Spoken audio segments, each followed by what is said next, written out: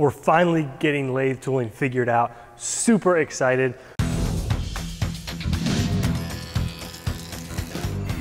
Ten eighteen steel. The job came in. We tried it real quick in the lathe and we didn't really focus on a good feeds and speeds and we were using an import tool and it looked like this and I was just, I had had it. This is awesome though. Kennametal tool, I'll talk about that in a minute, with good feeds and speeds. We'll come back to that again in the Fusion 360 here. Let's first, we got some camera set up, let's take a look at some turning.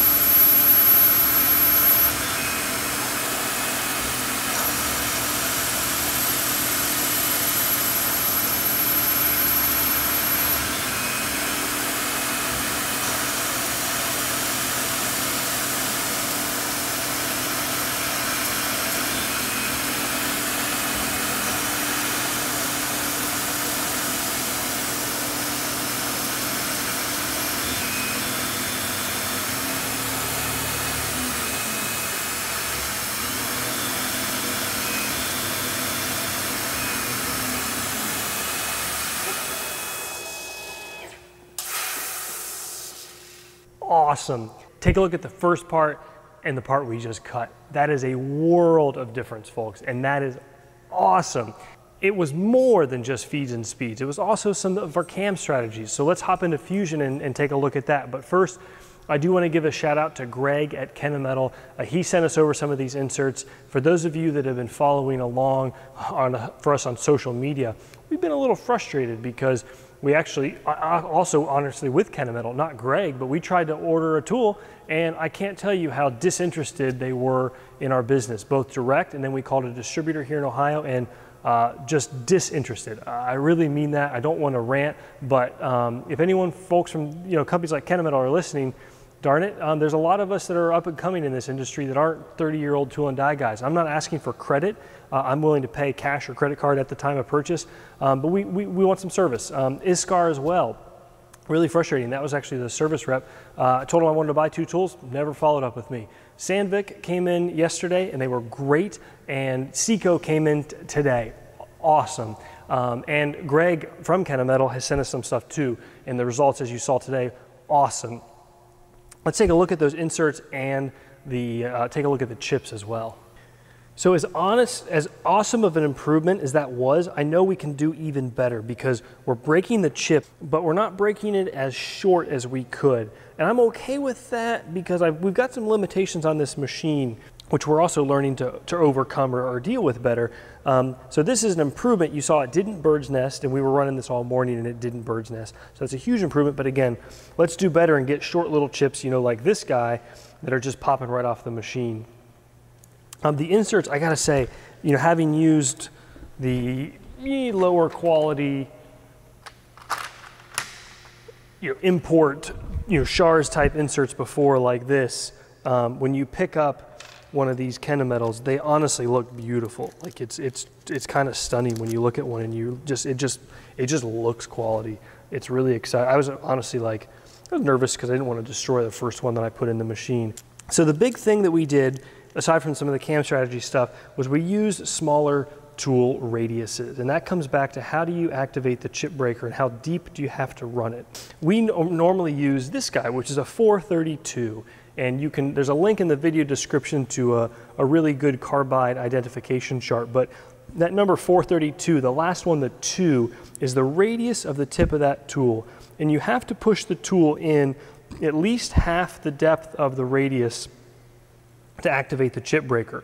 You also have to be moving along your cut, you know, this way, the inch per rev at a certain rate so that you're sort of pushing the tool into the insert hard enough to come over that little ridge there, again, to activate the chip breaker. A lot of similarities to the series we did on carbide tooling, which was basically for the mill, but basically if you run this tool too shallow or too slow, it's going to rub, and that's that's a terrible tool. The, the difference I find is usually rubbing with milling, you actually get a good cut at first, whereas rubbing with lathe is just, just terrible. So again, thanks to Greg from Kennametal uh, for sending over these inserts. Some of them are the 432s here, which I'm not as uh, optimistic about. Um, 431s though seem to be awesome.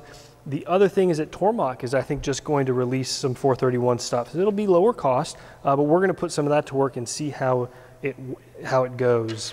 So this tool was a CNMG 431P KCU 10 uh, 405 0681. Uh, that 405 0681 is, the, I think, the Kennametal part number. Greg, Greg had recommended using 625 surface feet per minute. A he had said 35 thou depth of cut, but I ended up going uh, bigger, and I didn't know whether that was a radial or, or uh, diameter depth of cut and three inches per three thou per rev. So here was uh, the speeds and feeds that I ended up doing.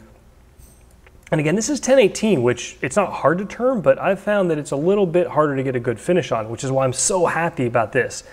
So we did 600 surface feet per minute, capping it at 2500s. If we pull open the Excel file that we have we made in our speeds and feeds YouTube series, and we take a look at this first guy here, if I plug in 650 surface feet per minute, I can play with the tool diameter, in this case the same as the work part diameter, and I can see, um, okay, at 0.5, 0.75, you know, really,